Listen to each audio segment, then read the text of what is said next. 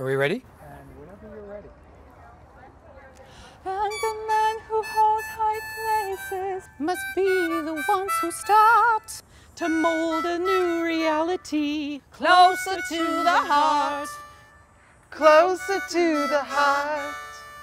The blacksmith and the artist. reflected in their art. They forge in their creativity closer to the heart. Yes, closer to the heart. Yeah, closer to the